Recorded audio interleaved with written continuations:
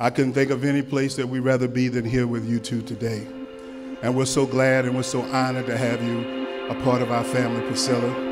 We look forward to many more occasions where we get to celebrate each other as family and have a good time and enjoy one another.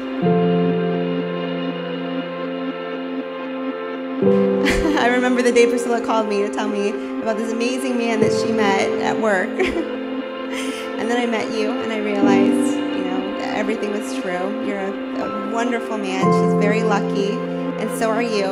I know from experience, you know, having had this girl in my life for 17 years, she is truly amazing. You're one lucky guy.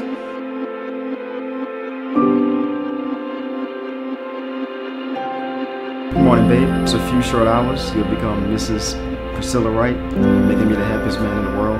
Um, I can't put into words how excited I am to, to make you my wife and to begin this journey of, of life together.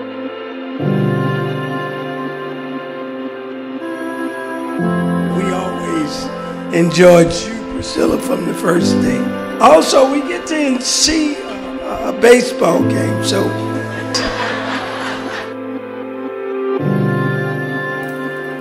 But Priscilla, I, I gotta say this.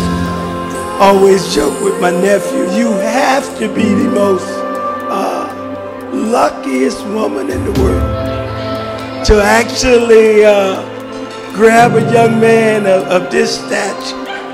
Uh, and I don't want to, I don't want to lift him up too high. But most of all, you married Mr. Right.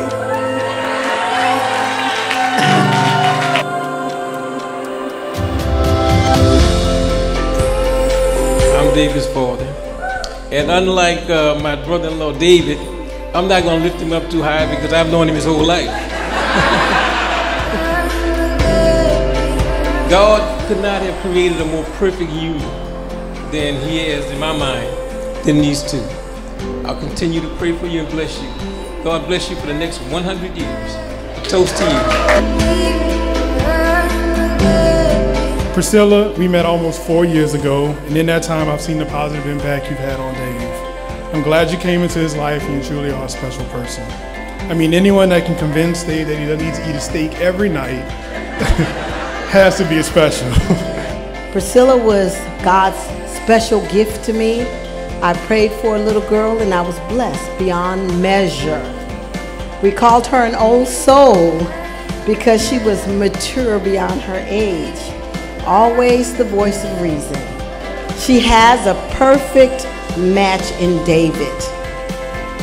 And I see he makes her happy. And that's half of the battle.